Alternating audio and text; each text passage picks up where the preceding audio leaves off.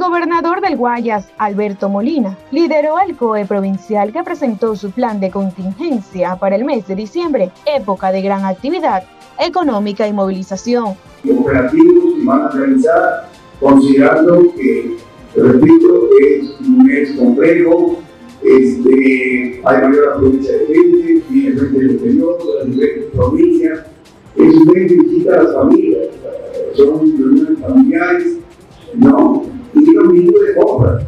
Diversas instituciones se suman a esta iniciativa con el objetivo de garantizar la seguridad y tranquilidad de la ciudadanía. Somos un mayor actividad, especialmente en el mes de diciembre, porque ustedes han estado presentes en las reuniones, hemos articulado ya acciones preventivas con videos, con campañas que se encuentran justamente de de mayor incidencia. En el caso comerciales um, tener el apoyo de Policía Nacional y a través de la Corporación de Seguridad con las cámaras en este tipo de incidentes. Un total de 12.500 servidores activos participarán de esta gran iniciativa. Tenemos eh, la ejecución del plan de seguro eh, continuidad con que son a 8.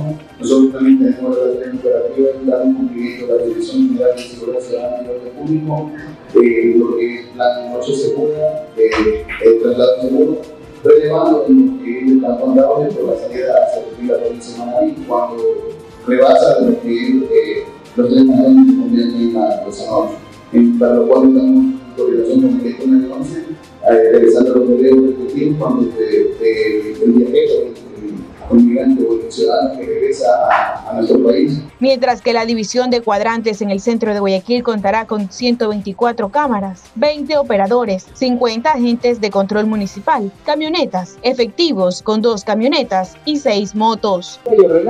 Como municipio nosotros hemos desplegado un contingente a nivel de la Agencia de Tránsito Municipal, el cuerpo de agentes de control municipal, la dirección de aseo cantonal, nuestros bomberos, la dirección de justicia y vigilancia, todo esto para que este espacio se vuelva una zona segura y pueda existir esta comercialización. Nosotros lo vemos como prevención. Entonces es importante conocerlo, que también conozcan que tenemos cuadrantes.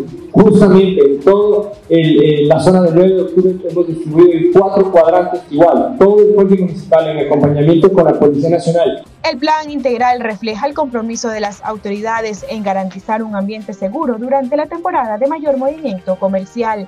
Para Última Hora Ecuador, Erika Vera.